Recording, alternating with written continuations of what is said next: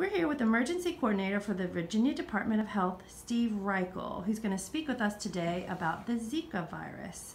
Steve, what is the Zika virus and how is it spread? Well, Zika is a mosquito-borne illness that's spread through Latin America, the Caribbean, and most recently parts of Florida and Texas.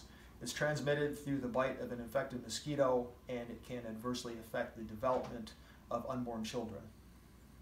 Okay, what are the symptoms of the Zika virus? Well, most people experience either no symptoms at all or very mild symptoms such as fever, rash, or joint pain.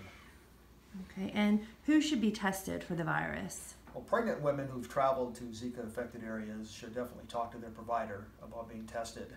And while there have been confirmed cases in Central Virginia, uh, to date they've all been travel associated and not locally transmitted. Okay. Um, is there a way we can protect ourselves from the virus? Uh, yes. Now, the most common mosquito in Central Virginia is the Asian tiger mosquito, and it can indeed transmit the virus. This species only lays eggs in man made containers with standing water. Uh, once submerged, the eggs take about 10 days to develop into adult mosquitoes. Therefore, we suggest that you pick one day each week to go around your property and empty or discard any man made items which may have a uh, standing water. Such items could include tires, cans, bottles, bottle caps, uh, buckets, toys, and also you want to look into folds in tarps uh, and the folds in corrugated piping where water can collect.